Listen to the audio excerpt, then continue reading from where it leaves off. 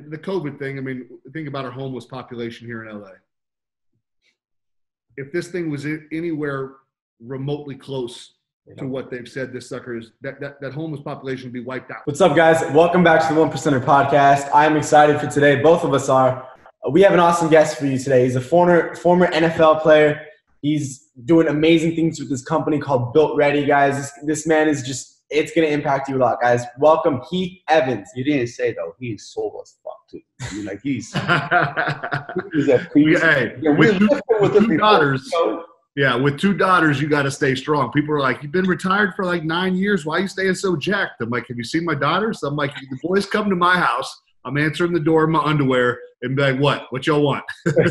oh man, I saw that one, uh, that 225 bench press you did I, I pipped, popped up on my feed. You did like what, like 40, 50 I saw that. Like that. But, but, he but he wasn't like in his a suit. Yeah. Like he wasn't in like I'm going like he was in that dress shirt, man. Hey, like, yeah. So back in my NFL Network days, the NFL Combine every February, all the college guys trying to get into the NFL do a 225 rep test, uh, test muscular endurance, strength, et cetera, et cetera. So the NFL Network had an idea of like, hey, why don't we put you up there in a suit and tie? We'll do it live on air uh, and so a couple years in a row, I was able to, to show the young bucks uh, what it's all about. So the last time I got 45, I couldn't knock out 46, and Michael Hearn's still giving me crap for not getting 50. So it, it is what it is, you know. I love it, man. Well, so he he played in the NFL for not 10 years, was it? 10 years. 10 years. So you played at the Dolphins, played with the Saints, the Patriots, and the Seahawks, right? Yes, sir. Awesome, man. So talk to us a little bit a little bit about that. Like that's that's so many kids' dream is to play in the NFL and everything. So talk to me about how you knew football was for you and then the journey of getting into the NFL. Woo, loaded question. Four years old. I'm like, Dad, I'm to play in the NFL. I mean, my dad was the most encouraging, loving dad you could get. Ex Marine. So he had this balance of like tough love and like when you say masculinity, like the masculinity that, that you love and, and, and respect. But he also had this this nurturing side. So you know, as time goes on, you get to eight. I keep running my mouth. I'm going to the NFL. About 14, he sat me down. He said, Son, if you're serious about this, I, would be a horrible dad if I didn't help you chase your dreams and help you set goals uh, to get to where you want to go. And so he literally made me sign a contract um, that I was going to do whatever he told me to do. He said, Are you serious? Are you going to be a man of your word? Because if you are, at 14, you're going to sign your name. We're going to run. We're going to work out. We're going to eat. We're going to sleep. And we're going to ignore the noise. We're going to avoid the girlfriends. We're going to do what it takes to to not survive, but that, thrive. I love that. Yeah. So it started there. I mean, I was the the chubby fat white boy from Palm Beach, Florida, that had no business being in the NFL. Um, but through great fatherhood, uh, which I'm sure that topic will, will probably come up out of my mouth quite a bit because I think it's it's it's lacking in, in today's society and it's showing up in so many different ways. Um, but hard work, discipline. All the guests that you guys have on this podcast, they're preaching the same thing. It might come from different methodologies, but I got something on the back of my my hoodie that said "Hard work works." told my daughter last night, laying in bed, praying, reading our Bible. Anywhere we want to go, you ain't getting there without hard work if it's going to be some level of success. If it's going to do something that's great, you better be you better be prepared to to put the blood, sweat, and tears in. And, and I mean the tears because anyone, any man or woman of great success, they've had their nights of tears. Yeah. So so I'm sure tons of people laughed at you. Tons of people were like, Heath, what are you what are you talking about? You're not going to the NFL. How how was that like, man? Like like you just said, you had no business being there. But what was what was that journey like? Listen, I think we're born with temperament, but I also think temperament is created. There's this battle of nature versus nurture. I think it's both. I think the God of the universe just says, hey, Sam, here's your giftedness. Ephesians 2 talks about God's created all of us for good works. Yeah. And then it's up us for us to kind of lead a life that says, all right, I don't know what's happening tomorrow, but I'm trying to find out what these good works are that God has for me so I don't waste my freaking life. And so I think I had some grit and determination that God just built in me from day one. But I was also raised with a tough mom and dad. I mean, here's a funny story in high school. You turn on my high school tape and you don't hear my dad yelling and screaming. You'd look up in the stands and there'd be like this five yard radius around my mom where no one was sitting with her. She's yelling and screaming. Sam, if I if I laid on the ground for two seconds after I got tackled, Get up, Heath. You're not hurt. What are you doing? Get up. That's my mom. So I grew up with some crazy tough love. So I think the, the naysayers, I remember one of my best friends, Jody Kidd, he would always tell you ain't going, you, you you're not going to be all state. You're not going to do this. And you're not getting your, your Florida State scholarship. You're not this. And it would just, it would stir in me. But I think without mom and dad, it probably would have broke me at some point in time. I can't tell you how many college coaches, oh, you're not the right skin color. Now, in this day and age of all the stuff that we're going on, you know, worldwide or nationwide, that's kind of opposite. But in the game of football, white boys don't play running back. It's oh, you don't you don't look like what what we want. Oh, okay. Well, let's run a 40 and let's put me on the field and let's put some pads on and let's see if I look like what you want then. So um, there was constant setbacks, but that mindset that I believe some was God given, and then other was just nurtured into me of like, boy, you better not quit. Losers quit. You ask Ava and Naomi, 16 and 13. Evans don't quit. We might fail, and we might fail a bunch, but we don't quit. And so I think there was some, God made me a little special. Anyone that knows me, I've got a few screws loose. Um, but but at the end of the day, mom and dad raised me hard and raised me right. Yeah. So you went to Auburn, right? Yeah. So talk to us about what it started to feel like when when your dream actually started to materialize and you thought, hey, I might actually be able to do this. Oh, I, I was the only one that, that thought I might actually be able to do this. My, my college career was so funny. My freshman year, um, I signed under Terry Bowden, the great Bobby Bowden's son. He got fired after my freshman year. My freshman year, I played three games, actually scored a couple touchdowns, did really well, but broke my ankle. Sat for the next six games. I told you I had a few screw loose. I had a plate and eight screws put in my ankle. Everyone said that my season was done. I'm like, no, no, no. I'll be back for Georgia and Alabama at the end of the year. I did, got back, scored another touchdown, played pretty well. We got our heads kicked in on both those games, so we won't talk about that. Um, but then my coach got fired, and so then another coach comes in, um, and and he doesn't he doesn't like me. He doesn't want a, a big white 250 pound running back. He doesn't use a fullback.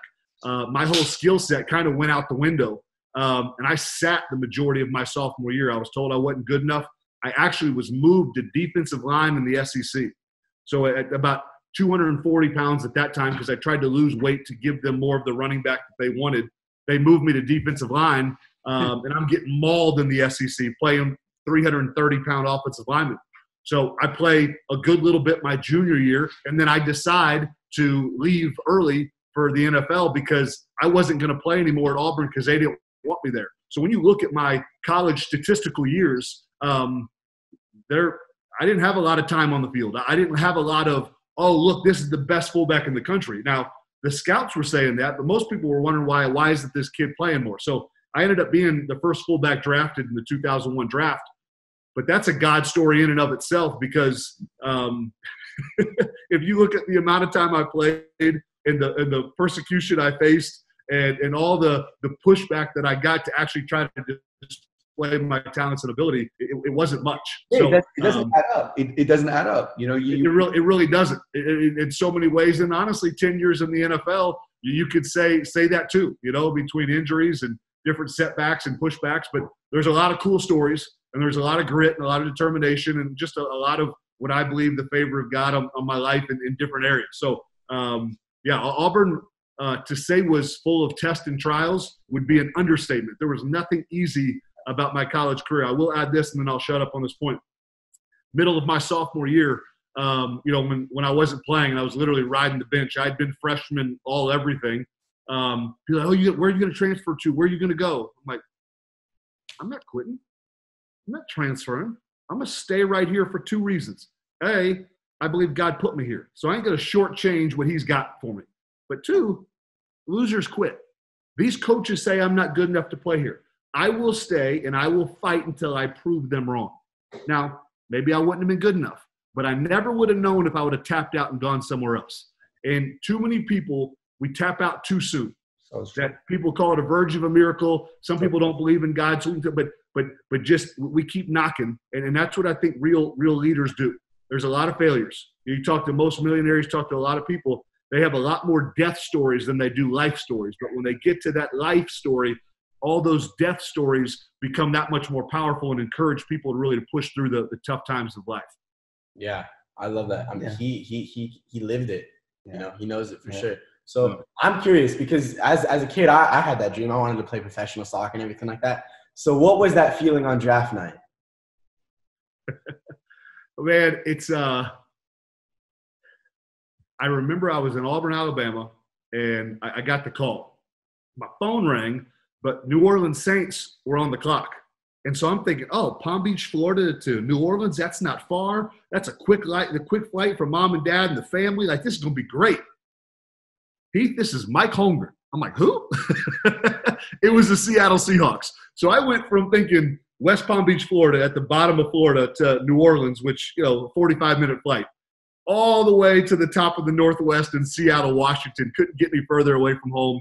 Um, to say I was excited after I was surprised and kind of like heart shook a little bit because I thought it was the New Orleans Saints calling and not the, the Seattle Seahawks. Um, it, it was it was just one step closer.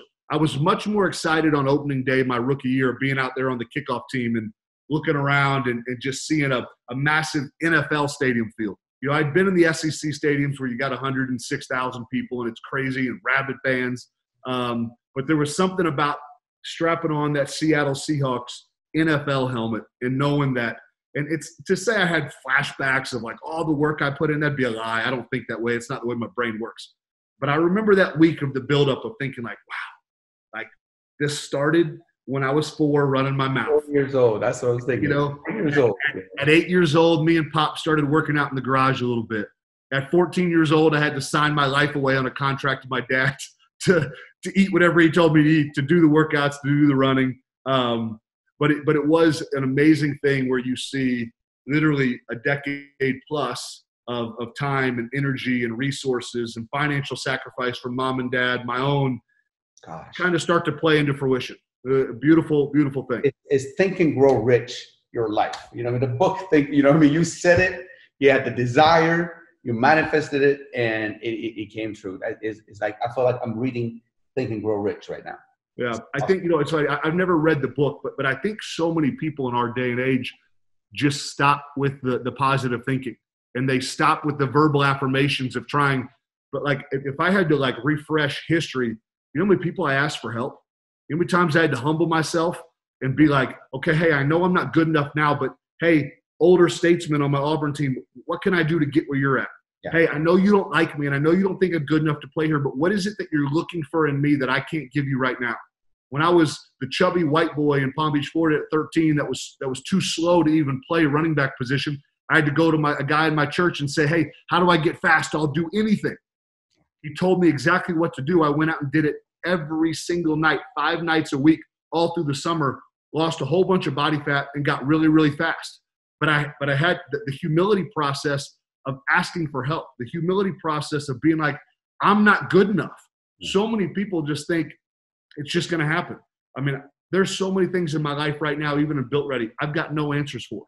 But yet I look back after, you know, about six months now and I see God just kind of put things in place. And they've been timely and stressful. And I'm like asking for help and can't find the right help. But all that stuff's purposeful too. And so I'm kind of, in some ways, back to square one when I was at 14. I'm, you can call me an entrepreneur, but I'm not. I'm a ball player that loved talking about football on NFL Network. That career was ended, and now we're moving into to what's next in my life. But the humility process is is much more powerful than oh, let me name it and claim it and speak it and believe it. There's a whole lot of people that speak and believe a lot of BS that ain't ever going to happen. Yeah. You know, and so we we gotta we gotta put in that humility grind work and just find a way. And I do believe that that human spirit is super powerful. I just want to help people chase the right things. Because Sam, you, know, a lot of people get to the mountaintop and they want to put a gun in their mouth because they were chasing all the wrong stuff. They thought that would make me happy. Oh, this career. Oh, this financial bank account. Oh, this house. Oh, this car. Oh, this wife. Oh, I just need three healthy kids. Whatever it is, and, and this stuff just doesn't satisfy. So my, my heartbeat is to encourage men to, to chase things that that that matter and, and that fulfill us and that give us peace and power. Yeah, man. I mean, so I, I love it, man, because I, I see the passion in you and, and I, I see it on your Instagram stories. I see how much you actually care and how much you want to change for, for these guys, you know, because especially today, there's so many men that I've seen that that that need it and they don't know. You know, I remember we had Sean Whalen on the podcast a while ago and he was talking about men are liars and men don't face those truths within themselves. And I, guys like you are out there sharing that message and helping them, man. So what what are some of those core principles and, and beliefs that you have that that you don't see enough of today? Well, I mean, num- number four with Built Ready is we are transparent. Listen, the humility process of asking for help with business is one thing. The humility process of, of asking for help with the skeletons in our closet as as men is a whole different side of strength and power. And and very few men are willing to do it. You know, one of my favorite Bible verses talks about that that you know through our confession of one to another, the Bible says sins, but but I believe that even as as we get together as men and we just confess out of our mouths our, our weaknesses, our struggle points, what we're insecure about, what we're fearful about, where we went wrong, how we failed, there's healing that can set in. There's power that can take place by by just getting the ickiness and the shame off our chest. And listen, um, to say I've stepped in a lot of crap in life, despite the great upbringing I have or had, would be an understatement. Um, but even in those sinful seasons, in those poor choice seasons that had disastrous consequences, now I can look back and say, man, I've suffered things so that I can comfort others, specifically men. And so, you know, number four is we are transparent, you know. Um, number five is we are accountable. I think those two things, people love saying I'm, I'm, accountable in this area of my life, but they won't open up their full area for accountability. Yeah. Um, I'm, I'm very careful who I let speak into my life, you know, but I was on the phone yesterday for an hour and a half with, with one of my older mentors um, that has full reign and authority over how I'm parenting, um, how I'm trying to lead, how I'm trying to love, who I'll marry, literally everything. And so, because I, have I've become this open book, really for any man that that I come across, because I believe that in our transparency, there's power not just for me, but there's healing for others. And so, um, those are probably two of the biggest core principles that I think all the other principles of my life are, are based off of. Yeah. What What do you think gets men to that point, though? That like their life is in despair and they're and they and they need to to find something like that. What do you think gets them to that low point? I mean, we call it brokenness. um, I don't know. I, I, I have been so blessed to have so many amazing teammates and, and friends, and and in every different walk of life. You know, I've got some of the most powerful CEOs in the world as people that I can dial up, and they they'd open up their house. They they'd raise my kids if I died today. Um, but yet I see them struggle. They have billions with a B. You know, they, they have the beautiful bride, they have the gorgeous homes, they have everything this world says they need to be happy and peaceful, and yet they're the most unrestful, unpeaceful people in the world. Yeah. My boy Deion Sanders talks about the night he won his first Super Bowl, and he thought that was it. You know, he grew up in South Florida, uh, you know, he's he's way older than me. If you ever run into Deion, tell him I said he's way older than me. Um, but he tells this he tells this story that you know he, he chased you know these dreams of high school state championships and then you know national championships at Florida State and then first round draft picks and then all the women and all the cars and all the stuff. And Joker wins his first Super Bowl holding up his Lombardi. And he talks about driving his Lamborghini, thinking about driving his Lamborghini off a cliff that night because he was so broken.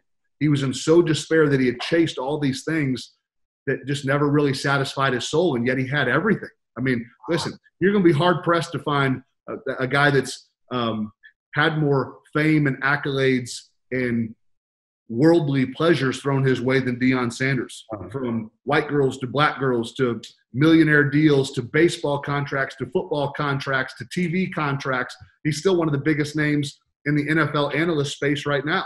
Um, but yet he was broken. And so Deion, if he was sitting right here next to us, we'd probably be sharing a donut together. Uh, but but he he'd tell you that Jesus was the one that rescued his soul. You know, um, and so I can go on with story after story. I mean, um, Tom Brady is the most phenomenal leader I've ever been around in all my life. Hey guys, thank you so much for watching the interview so far. You know, one of the keys to my success has always been productivity and time management. And now I have a video for you so how you can increase your productivity and really, really start getting stuff done. So click somewhere below here and message me the, the word time. I'm going to send you my free video training so you can take your productivity to the next level. Now let's get back to the interview. Um, and, and that and that's listen, Bill Belichick is is one B. but there is a humility to Tom Brady that sets him apart from anyone else I've ever been around.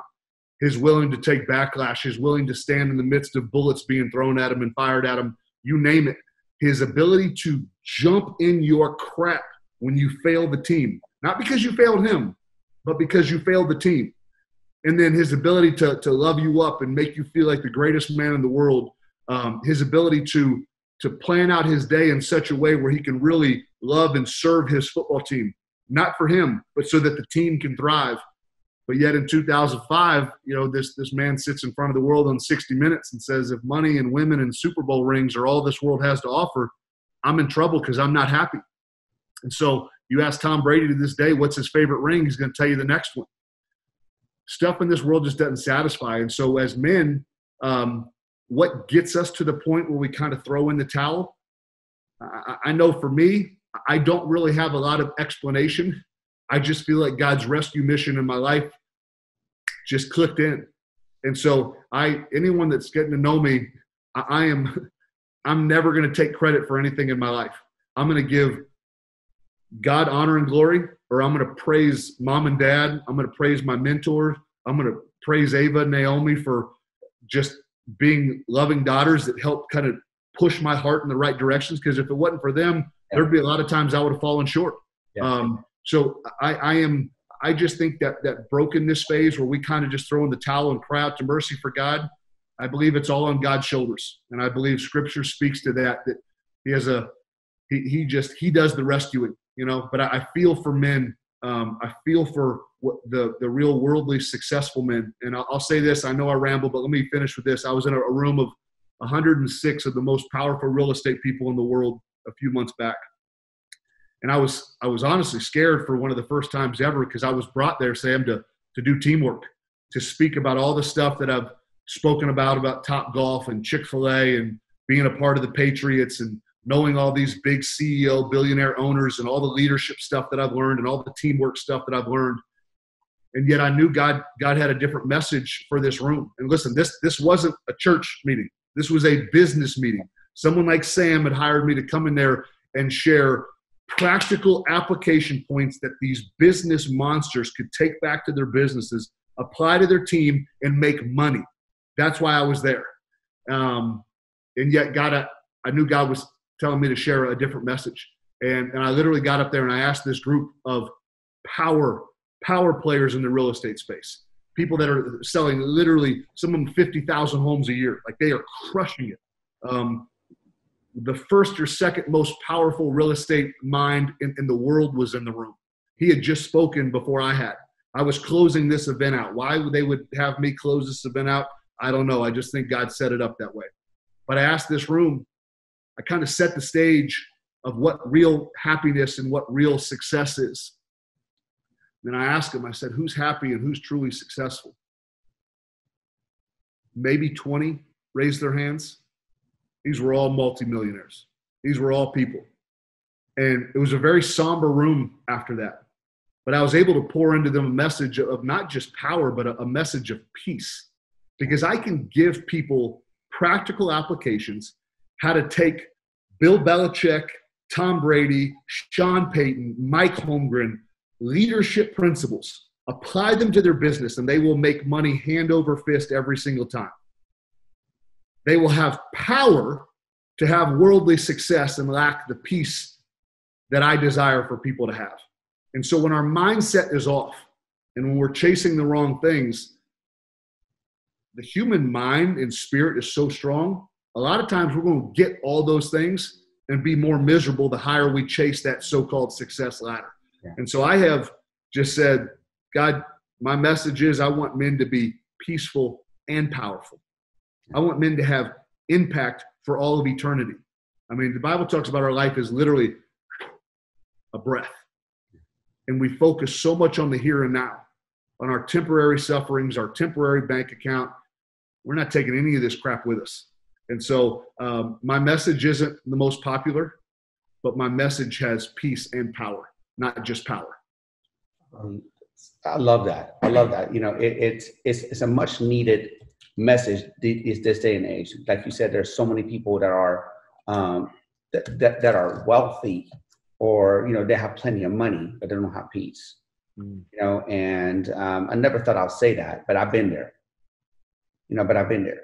You know, because I thought you know coming, you know, getting the mansion, getting the cars, you know, you know, having the businesses, having millions and stuff like that, having the watches, all that kind of stuff. I thought that was it. When you talk about you know uh, Deion Sanders, you know, you know, winning the Super Bowl and having everything and wanting to drive his Lamborghini off a cliff, you know, I was I was never that, but it was points in my life, you know, that I look back and like, is this it? There's got to be something. There's got to there's got to be something else. And I, but I thought being here now was was the answer, and it's not. Yeah, I I think it sounds so cliche until I kind of try to fill in the gaps. And again, I this ain't my message. I've stolen everything that I'm sharing today, either from the Bible or the great leaders I've been around, um, or stuff that I've learned the hard way. But you know, we were built to love, and we were built to submit, and those are one word we love. The human, you know, race loves the word love. We all want to be loved, but we're sucky at loving people. And so, what I figured out more so in the last two years of life is that the more I submit my will and my wants and, and my ideas, I've said earlier, I don't know what's happening tomorrow. I mean, if we if we rewound the videotape of America four months to think that we'd ever quarantine the healthy in America, people would have been like, Heath, you're crazy. You're nuts. That'll never happen. To say that uh, in certain states you're not allowed to have church and you're not allowed to worship out loud. Oh, he, we're we're land built on religious freedoms that will never. Happen. I had that very conversation in this house. Someone laughed at me when I said it was coming. It wasn't 24 hours later, and our governor out here said, "Oh no, no, you can't worship in church. We'll praise the protesting, we'll praise the rioting, have thousands, but you can't have more than 10 in church, and don't you dare open your mouth and sing." And so, my my my thought is, I have no clue what's coming tomorrow. I've got no clue. I don't know if I'm going to get my next breath, but I know who does. And so when my life gets humbly submitted before Him, I start to see how much He loves me. Despite being the past adulterer, despite being prideful, despite being arrogant, despite being a, a, a short tempered dad at times, despite falling short as a leader, my list of failures could go on and on and on. But yet, this God of the Bible is massively in love with Heath Evans for some reason. Like, so wicked, so off the, the, the standard of, of, of God, but yet, I just love you. And not only does he love me, he wants to bless me. And so then when I start figuring out this love, that he loves me, I can't help but love him. And then when someone wrongs me, I'm like, oh, well, I wronged God, so how could I not forgive them? How could I not love them? And so when I start being equipped to love people back, then I start feeling really loved by those who love me. People are lacking love and, and we're blaming everyone else around us. I used to blame a lot of people. I've been in relationships where I just I just don't feel loved. I just this this is you and this is this, and then it led me astray to seek uh, an innate desire that God gave me in in worldly ways, and then it just broke me even more. And not only did it break me, it broke my ex-wife. It broke pieces of my daughter's hearts. It broke my family. It, it hurt people. But yet God says like Heath, Heath, I love you, but but you got to you got to submit to my way, and then you're going to see how much I love you, and then you're going to be able to love people in ways that you never dreamed of, and then you're going to feel so much love and acceptance. And so this world has things backwards, and so um, the submission has to come before love. It's the picture of a marriage. When when me as a, a future husband will literally lay down my life to do what God's asked me to do, I'm going to serve my wife like Jesus served his people. I'm going to wash their feet no matter what they do to him. And so we're looking at all the wrong things through lenses of how we see things here on earth, and we wonder why we're falling short. We wonder why we, we don't lack peace. We wonder why we get everything we ever wanted, but we got to drink ourselves to sleep at night. We're wondering why this beautiful woman that seems to love me, why does she never satisfy? Because the Bible said that she couldn't, and God made it that way. So when we find satisfaction in God, I find peace and I find love. And then I'm able to share that love. Not perfectly, I fail all the time. But when I realize how much God loves me, it equips me to be able to love others, to forgive others, to, to love the unlovable. And then it's amazing how loved I start feeling. Because God's love is the most powerful, peaceful thing we could ever want. Yeah. but we don't get to experience it without giving him our lives. We, we just want all his blessings. I was literally reading this morning in First Peter. It's a, it's a part of the scripture that nobody ever wants to talk about. That, that God's favor is on his people they love. God's blessing is on his people, but his face is literally against the evildoers. So as long as I'm like, no, God, I'm doing it my way, God's like, okay, I love you, but but I'm, I'm not going to bless your life. I'm not going to give you the rewards of peace and power. And so it's not my message. It's an unpopular message, but I, I will I will die on this message. And it's the message that Built Ready is built on. It's the message that um, I know no matter what season of life allows me to put my head on a pillow at night and peacefully rest. Yeah. Because I, I'm not in control, nor do I want to be in control. And you two definitely don't want me being in control. there's uh, there's there's a couple things like I remember I heard I heard this one uh, pastor say um, he said when his dad when his dad was a kid and everything and he, he was an amazing piano player amazing piano player. And then when he grew up he, he he followed in his footsteps and everything. And he had this recital and and he was trying to he was he was trying to play and everything. And he had his note to play. And his dad's job was to make the song sound beautiful. Didn't matter if he messed up. It didn't matter if he played the wrong note but his dad's job was to make this everything work. And and there's something so peaceful about not being in control. There's something so peaceful. Dude i could screw up but my life is not going to be a result of my screw up and there's mm. something just so amazing about about it not being up to me. And all you have to do is is play your note and let him take care of everything else. You know it like it's such a weight off of your shoulders that that that when you surrender it everything changes for the better. Everything changes for the better. Well, and, and that's and that's the the beauty of the Bible. It's a book of a whole bunch of screw ups. Yeah And it's a book that we make about us when really the whole thing is about God's goodness and love. yeah Any Bible character you want to pull out, they were a wreck. Like at one point in time, they were an absolute disaster train wreck. And and yet God, okay, watch this. And then you watch their lives shift in faith because they they submitted. And some looked very different. You know, some people's lives, Samson, the thief on the cross next to Jesus, their lives weren't radically changed until that last day when they turned to Jesus. Others, like the Apostle Paul, this joker was out murdering God's people. And then God does the work, Paul submits, and then his life was a blessing to Christians literally a thousand generations later. You know, and so um, that's that's the beauty of submission and and just when we hit those broken places of God allowing us to get to a point where we just cry out for mercy. Um, it's the most beautiful place I've ever been placed in. yeah how how has that affected you as as a father you know because i know that that's incredible that's one of the most Yeah. important things to sam is being a father and being with his family and i know you're the same way so how is how has that affected you when you raise your daughters Well, I've got my beautiful 13 year old Naomi sitting over here in the corner. Um, sometimes they love it, and sometimes they hate it. Um, the message of Jesus is tough. We, we think we have this idea of what love is, and so there is this love being preached, I think, in churches today that it's not the love of God. Jesus himself said that he didn't come to bring peace. He literally came to, to divide. Now, he came to unify his church, but, but my message of Jesus is a divisive one. My message of Jesus out of his own, mouth said, I am the way, the truth, and the life. No one, no one gets to God the Father except through me. That in alone, what do you mean? He's the only way. We're humans. We don't like to be, we like we like to have choices. We like to have our power influenced over it.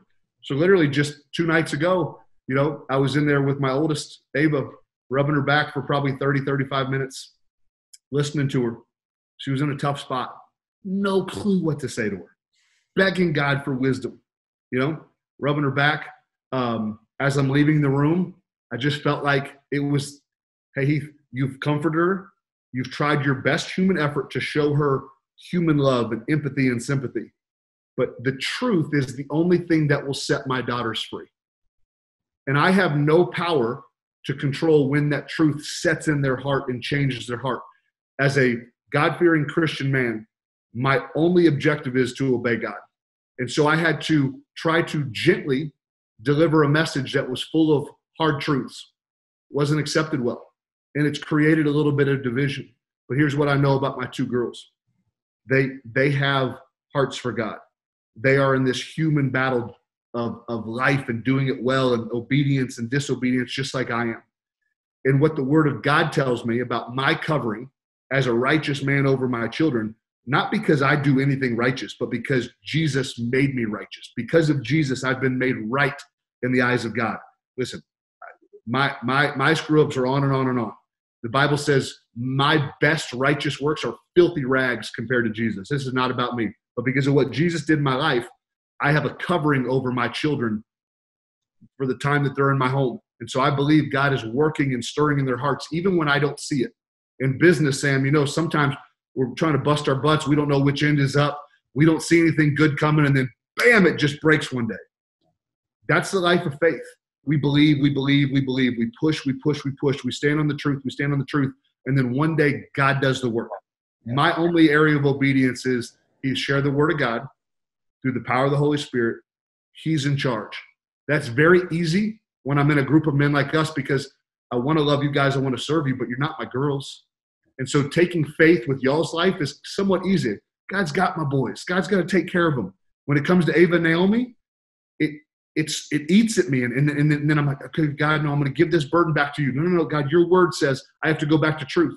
That's why Paul tells me renew my mind every single day to meditate on the word of God, not just meditate, not just to go in some yoga session and meditate. That word has been polluted.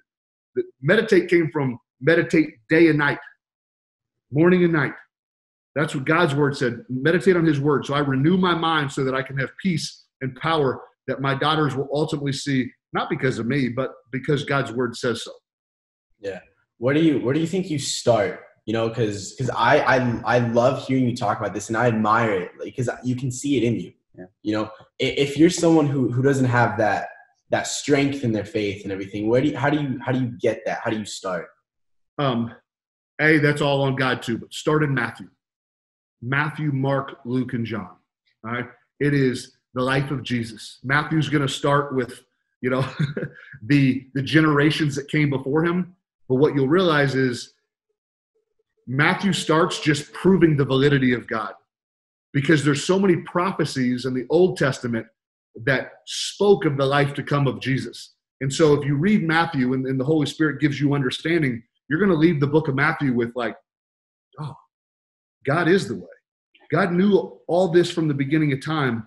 He has purpose in my life, and Jesus has a plan. And then when you start asking God, because here's the thing, you got to remember, Jesus' disciples walked with him for three plus years. One of them betrayed him couple of them didn't even really believe in him. The others believed but didn't really fully know who he was and what he was. But after that man died and was buried and raised again, those other 11 apostles, they were all willing to give their life for the man. Matter of fact, they all did. Some of them were hung upside down, some of them were burned, some of them whatever. And that sounds crazy in this day and age, but those men, something so shifted because of what Jesus and what the scripture had promised all through the Old Testament and the New Testament came to pass. And when those men, by the power of the Holy Spirit, God did the work. Those apostles were no different than the three of us. God, God shifted something in their life. They were able to humble themselves. They played their part in in in in walking with Jesus. I don't. I hate to quantify because I just want all God to get all the glory. I want the life of Jesus to be glorified in my life. And so where you start, just start reading the Word of God, and God will do the rest. My, my daily prayer is God, give me mercy to walk with you today. I know you hear my prayers. And so, this word, the Bible says that it's, it's a light unto my path. So, the more I read it, my, my path is going to get brighter, and I'm going to know where to walk. But if I'm not reading it, I'm not going to know where to walk. I'm not going to know where to walk as a father. I'm not going to know where to walk with Built Ready. I'm not going to know where to walk with my, my boy Taylor sitting right here next to me. I'm not going to know where to walk when I go in the grocery store and I have some crazy conversation with some crazy lady. Like it just, it's a light into our path. And so I just, I've come to believe that the, the word of God for each and every word. And I've seen the power in its life in my life. And so I want people to start in the word. There's a lot of good books. There's a lot of good churches. I want people to know the voice in the word of God because that word is what changes our hearts and our minds. Jesus came as flesh. He is that word. That our Bible, it's different than it's it's different than any other religious book. The Bible says it's alive and active. And there's something supernaturally powerful when we read it. I was up in it this morning. I remember three or four verses of the hour plus I spent in it. But I know it will empower my life throughout the course of today. And so I'm going to start in Matthew, Mark, Luke, and John, those gospels, the life of Jesus, and then get in a Bible believing, Bible teaching church that is preaching Jesus. Um, start there. God will take care of the rest. Okay. I love it. Man. And join Built Ready if you're a man. exactly, man. Now, what? How do you? What What do you think of everything that's that's going on today? You know, I mean, there's there's there's tons of controversies, and I know you've you've been very vocal. Uh-oh. So I'm I'm curious. What do you think? Not okay, boy. Let me let me, let me adjust my seat. Okay, let's do this. Yeah. Um, I'm gonna be honest. My thoughts don't really matter. Yeah. Let's let's talk. Let's talk about um, George Floyd first. It's heartbreaking. I mean, it was murder. I mean, it was evil at every level. And I've seen a lot of different takes. People outside the church, people inside the church. Here's what I know racism is hatred. You know, hatred is evil. The only one that deals with evil is Jesus. And so I think when we get our eyes focused on the wrong thing, and I don't ever mean to demean anyone, and I'm not trying to belittle anyone's personal pain, their personal history, their family's personal history, their generational line. For me to try to empathize, I try to. And I want to get in people's shoes. But the Word of God even tells me that no one is ever going to experience my pain the way that I experience it. And so, to some degree, me loving people, it's what I'm called to do. Me trying to empathize, it's what I'm called to do. But the Word of God also tells me that when, when, when I go to my kids for comfort, they're never going to be able to fully comfort me, and God made it that way. When I went through my divorce and I was going to run to another woman, that woman was never going to be able to comfort me in the way that I wanted to. The Word of God tells me that. God made it so that I would always run to Him to fix my broken heart. And so, in a world that's dealing with some racial stuff, I'm going to be really honest. I've got a brother sitting right next to me. I've had multiple others in my house in the last few months. When I was in Florida a few weeks ago, I had my twin Haitian brothers in the house. And I, I, I don't believe what the media sells us. I believe in an America. Um, yeah, do we have issues? Sure. Are there bad cops? Yeah. Are there responsibilities that need to be taken on the cop side as well as the African community side about African community um, uh, cities in, in different places that cops are on edge because of past crimes and offenses? Yeah. What do I blame it on? I blame it on people not submitting to the will of God. I blame it on fathers not being in the house. I watched Denzel Washington the other day just beautifully tear down. And again, these are my feelings, and this is Denzel Washington's feelings. All right? It's not the word of God, but I do believe a lot of it aligns with what God's truth speaks. We can talk about white privilege. We can talk about racism. We can talk about you know 350, 400 plus years of, of racial divide, and there is a lot of truth There is a lot of brokenness, a lot of sin, and a lot of shame. But what Denzel went at was two things personal responsibility, which the life of Jesus teaches us. He took on personal responsibility for the sins of the world to give us a picture that we would take on personal responsibility to say, okay, here's my sin, my junk, my failure, so I own it, not blame other people for it. But Denzel went a step, father, step further about his three best friends and how he was the one that had a father in his home, and the other three didn't. And that people blame it on the system. The system is set up against him. He said, My boys were in jail before the system ever had a chance to get them. And so he dug it down roots deeper and he took a lot of backlash. He took a lot of beating from the black community, you know. but there is there's validity in his statement because God created a husband and wife to be together, to, to create kids, to be a team, to raise them together, to build up their identity and who they are. And so when you dive into the race stuff, we can go a thousand different directions. I just believe Jesus is the answer because Jesus was love. Jesus loved everyone he ever came in contact with, and people murdered him. They hated him. They hated his message. And he was love. It's undeniable. He is love. And so here's the deal I could rid the world of, of all racism, every bit. And the racist white people, and the racist black people, and the racist Hispanics, and the racist Asians, the people that were that were being racist against other cultures, those people still wouldn't feel loved because their heart isn't in a position to feel loved. I can go on through relationship after relationship where I've been and where I've tried to love people, they've never felt my love. And now I'm starting to see the glimpse of God's word come to life because if God doesn't heal, Sam, you and I could be best friends. I could serve you. I could take care of you. I could, you, you could be sick on your deathbed and then I could, I could be literally taking you to the bathroom and brushing your hair and brushing your teeth, serving you like no man could ever serve you. But if your heart is shattered and broken, if your if your heart is anger, angry and bitter, you're never ever going to feel my love and acceptance. I could because that's what Jesus did. Jesus and Judas, Judas gave his life for Judas. And Judas like, nah, screw you, playboy. I'm gonna 30 pieces of silver. You kidding me? So Jesus' life proves that racism and, and fighting this sucker, all these different ways, isn't the answer. Are there good things that we need to do as a, as a community to come together and fight evil? Always, always. But the answer is Jesus.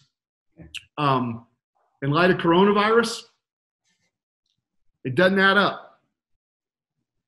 If if masks are the, the answers and masks protect us and they, they do whatever, then why have I been allowed to wear my tank top over my ears for the last three months? How come everyone doesn't have to have the same mask? How come these numbers out of California and New York are so much crazy higher than everyone else? And they talk about population. Okay, Florida's population is is is a little bit more than that of New York's. And you look at the numbers, they don't add up. And so I, I believe there's evil underlying in absolutely every bit of this. Um, the CDC's new numbers. listen, people want facts. They don't want my opinion. So let's just talk about what the numbers that are out there. This thing, the mortality rate is now half of the 2019 flu 0.014%. All right.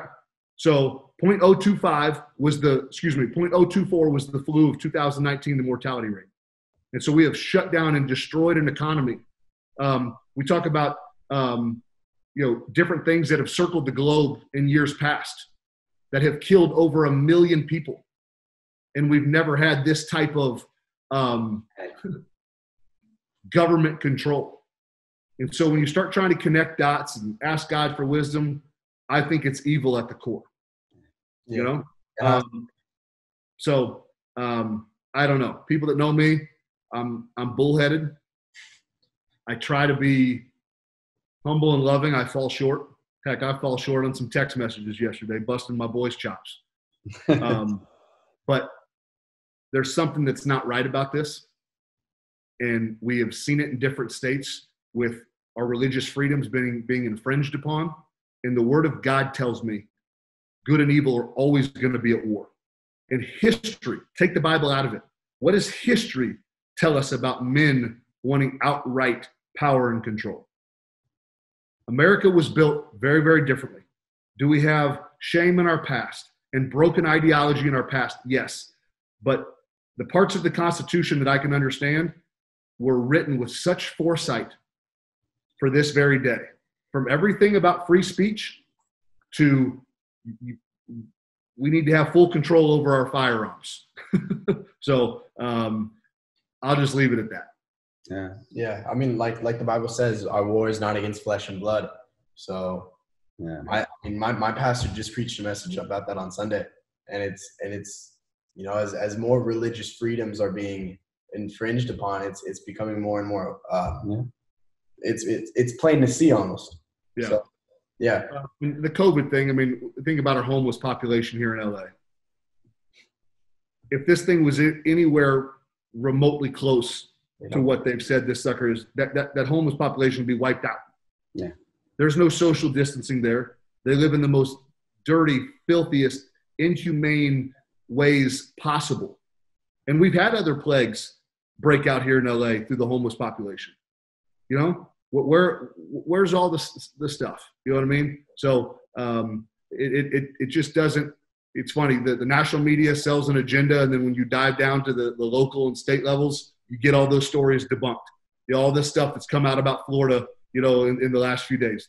My family lives in Florida. I got friends and family all over the state. I was on a call, a real estate coaching call yesterday uh, with one of my, my team leads in Ocala. Know, it's nonsense. The stuff ain't true. The ICUs aren't full. The hospitals aren't on waiting list. Doctors aren't overworked. Matter of fact, the doctors have been furloughed because there's not enough work. And everyone's been sent home to starve and steal and kill our, our country and, and our economy. And I'm declaring in the name of Jesus, evil is going to be exposed and it ain't going to happen. But um, the Bible tells some pretty grim stories of history. Our own history, world history, should literally whet people's appetites about what we're starting to see go on in here. And it's scary how many people can't see. And, and that and that is is what it is. God's in control. That's what I know. okay. Oh yeah. And real quick, I want to I do want to talk about the NFL. You know, they they have a lot of controversy. Yeah. And everything. What do you what do you think about what do you think about kneeling? Uh, and I would just, never. Mm-hmm. I'm I'm disappointed in Drew Brees. I love him. He's a great man of God, a great father, an amazing husband, a great leader.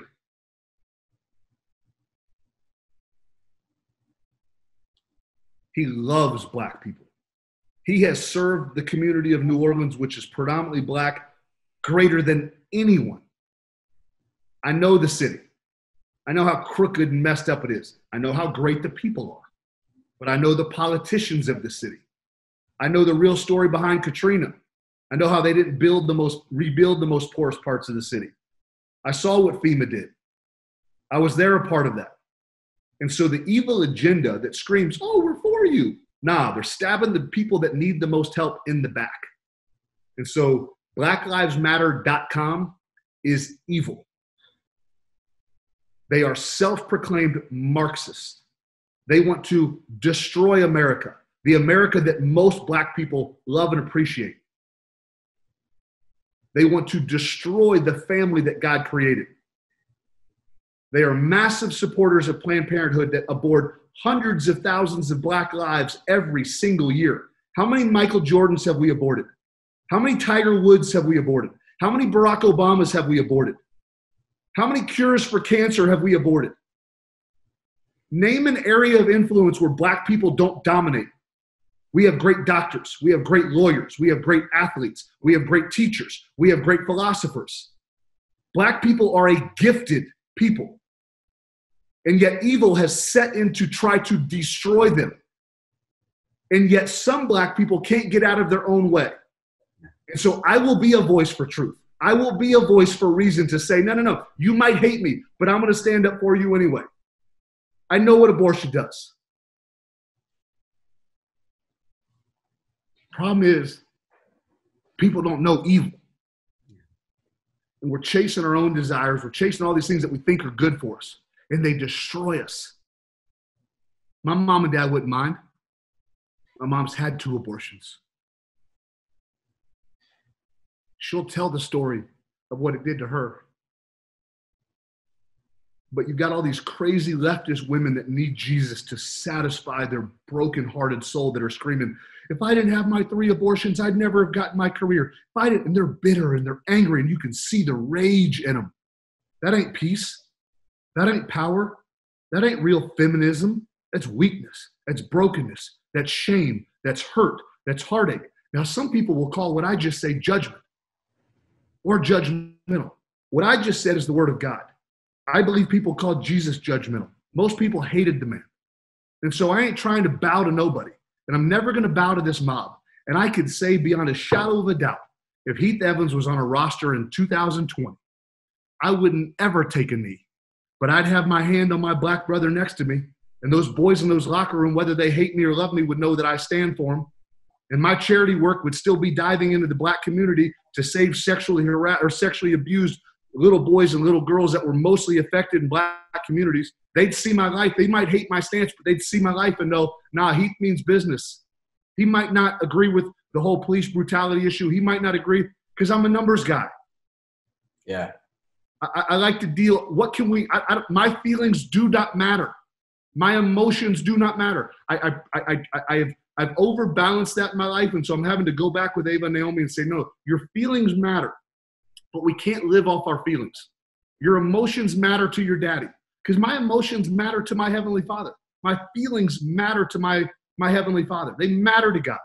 The Word of God tells me that I don't have a Messiah. I don't have a Jesus that, that can't understand my emotional heartache and my emotional pain. So I want Ava and Naomi to come to me. I want people to come to me and share their feelings. But I want to be around the people that really want truth. Yeah. My feelings, my thoughts, they've screwed up a lot of people, including myself. My wants, my desires, my right way of thinking, my way has effed up a lot of things in my life. And so I, I'm not, I'm trying to, what are the numbers? What are facts? The facts are we, we had 10 unarmed black men in 2019 killed by cops. Eight of them went through the, the system, and from what I can tell, they, they were cleared and rightfully cleared. The other two are in jail. And the numbers of, of unarmed or, or cops that were killed, people don't want to deal in those numbers. And so I'm not here to argue ideologies and, and stuff. I'm here to, to, to say what is, what's the truth. And it's always going to go back to hearts that, that need to be healed by God, period, the end. And so I, I wouldn't, Drew should have come out and apologized like this. I'm sorry for being so aggressive in my stance. I love my boys. I love my teammates. I love the black community. And I believe my life is going to continue to show that I truly love people. But I believe in this country. I believe in this flag. My grandfathers fought for this. I know we might see it different, and that's okay. I'm to let you see it your way. Please let me see it my way. I'm going to honor you in other ways, but I'm going to honor the flag the way that I believe I'm supposed to. I'm going to honor the legacy of my grandfather the way that I believe he would want me to. And then let's just agree to disagree. Yeah. But the mob is never satisfied. Yeah. They are power wants more power, more power, and more power. And guess what? The people that's given to the mob, they're going to be the first one to realize, holy crap, yeah. we got bamboozled. Because they're going to be the first one. Listen, people talk about internment camps and all the other stuff. How did how, how did Nazi Germany happen? How does Hitler get six million people to bow the knee? It wasn't, oh, just one day everyone was just brainwashed. No, it was systematic just like this is. And so it is what it is. History repeats itself. Yeah. I, Einstein's definition of insanity, doing the same thing over and over again, expecting a different result. Okay, wake up, America. We're so prideful and arrogant. You think it can't happen to us? The Bible says otherwise. Sorry, I know that was heavy. No, bro, I, bro this was this. I'm, I'm just sitting down here, man. I'm just like, and I'm like, wow, bro, this this was man. I know a lot of people are going to be impacted by this for sure. Thank well, you. Let me, add, let me add one more thing to the to the pro life thing that I said. My heart for pro life doesn't start with the baby. It starts with the mom because of my mom. So I'm willing to to stand up and be a voice that says, "No, man, I, I, I, yes, I want that baby to live," because I do love black people, and I do think we've aborted five other Michael Jordans. And I believe we've aborted, you know, three other Barack Obamas. And I believe maybe just the cure for cancer, the cure for AIDS, or all the, yeah, it probably was going to come by a black man. Think about it. I've talked about Denzel Washington. Like you can talk from politics to doctors to poetry to singing to the arts to the entertainment. What don't black people dominate in and do extremely well? And yet they're 13% of the American population. If we wouldn't kill hundreds of thousands of them every single year by evil KKK birthed Planned Parenthood, yeah. they'd be 40% of our population. And we'd probably be much more like this, unified in much more ways. We'd be diversified in more ways. And, and because evil had been thwarted in the womb, we'd see more peace and power on this earth. Anytime evil is cut off, there's more prosperity and joy and peace and power to come. The more we allow evil to thrive, the more division, dissension, hatred, everything that's the opposite of what we want is empowered to thrive. And so, any woman that's ever going to listen to this, please don't think Heath is hateful. My heart is for women. Like any woman that's the most painful thing about what went down at, at NFL Network was every other woman in the place defended me. But I had one broken, hurting woman that I still love and I've chosen to forgive that told a story about me and 14 other guys. And she got paid. She took advantage of the system. I'm not bitter against her, but it was an insult on my character about how I love and, want women to be empowered and treated. Every woman in that place went to my defense, but it didn't matter because evil had to be squashed and evil had to be covered up at the NFL instead of divulging what really happened, calling out, no, there was evil here, evil here, evil here, but no, him and him and him, they were they were clean. And so um, I don't ever want a woman to feel like I'm taking their voice.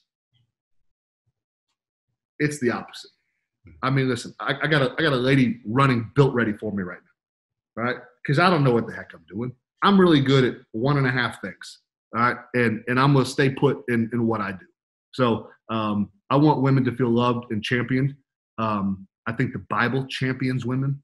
I think the Bible says how perfectly God made them, but I want their hearts to be protected. And evil policies have pushed them to damaging their own hearts. And there's just nothing more beautiful than life. I Yeah. mean, boy, I'm mess with one of my daughters, and I'll I'll show you how much I I uh, champion life. Well, Heath, thank you so much, man. Where where can people find out about you on social media? Thank you. They need to hear what you got to say. At Heath Evans 44 on on all social accounts, um, and then built builtready.com. You know, it is a a platform for men that want to master manhood. A bunch of men that are flawed and far from perfect, but we're doing life together. Crazy killer workouts that are going to work every single time. There's no three by eight, you know, muscle and fitness promise you a good body by not doing any work. We do the work, we put it in, um, and um, just men doing life together. Heath, this was this has been an amazing interview. You know, I'm I'm just sitting back here, just trying to absorb everything that you said, and oh my God, man! I mean, this is this is uh, I'm kind of speechless, man. you know what I mean? Uh, and I can't wait to get back working out with you soon. And and God, thank you so much for being on the show.